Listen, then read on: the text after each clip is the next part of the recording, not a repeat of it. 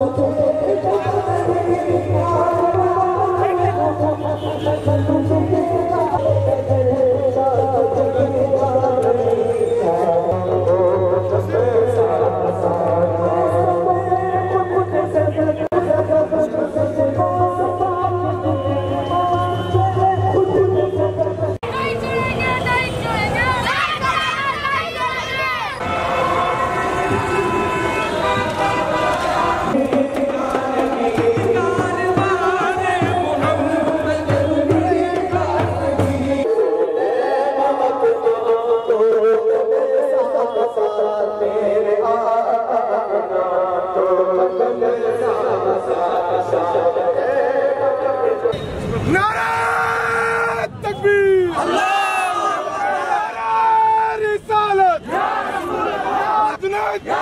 Hak Cüneyt!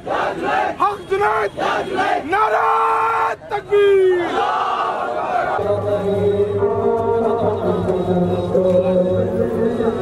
Allah!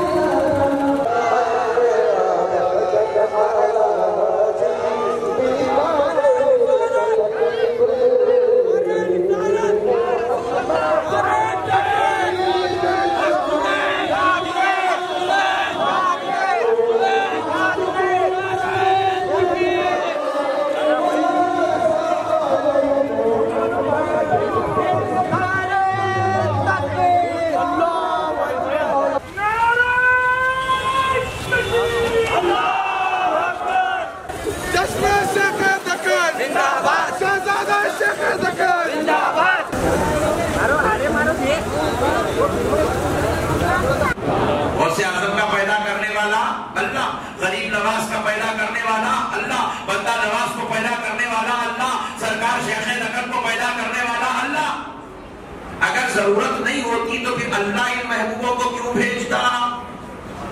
Gulbarga میں آج لاکھوں کی تعداد میں مسلمان نظر آ رہے ہیں۔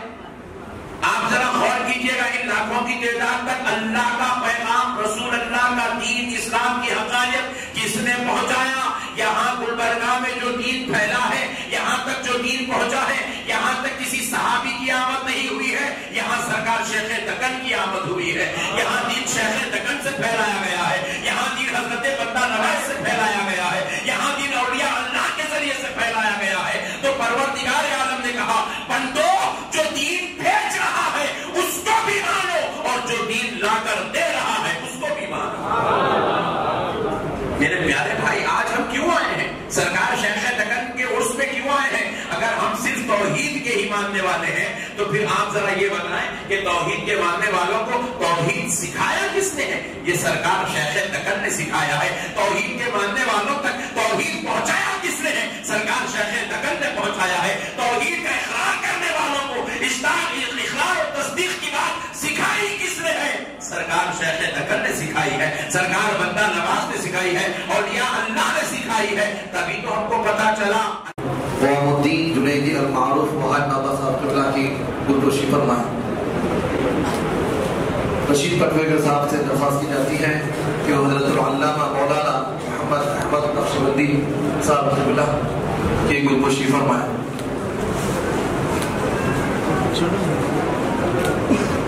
منہاج بابا کی گلگوشی فرمائیں رشید پٹویگر صاحب سے درخواست کی جاتی ہے کہ وہ حضرت علامہ مولانا احمد بخشمتی صاحب کو اللہ کی گلگوشی فرمائیں نعرہ تکبیر۔ الحمدللہ خود الختاب زندگی مخدوم حضرت شیخ محمد سراج الدین نذیر رحمۃ اللہ علیہ کا سندل مبارک محبوب گلشن سے روانہ ہو کر اب مارکیٹ کی مسجد پہنچ چکا ہے یہاں پر مغرب کی نماز ادا کی گئی انشاءاللہ یہ سندل مبارک کا جلوس جاری رہے گا اور رات گیارہ بجے تک انشاءاللہ بارگاہ شیخ دکن رحمۃ اللہ علیہ تک پہنچے گا تو لہٰذا تمام شاخان شیخ دکن رحمۃ اللہ علیہ سے خواہش کی جاتی ہے کہ اس سمن مبارک کے جلوس میں شرکت کریں اور بارگاہ شیخ دکن سے فیض حاصل کریں اللہ رب العزت سے دعا ہے کہ اللہ تعالیٰ ہم تمام کو اولیاء کا عاشق بنائے اور بارگاہ شفت گنج خصوصی فیض عطا فرمائے۔ آمین۔ بجاہ سید المسلم صلی اللہ علیہ وسلم۔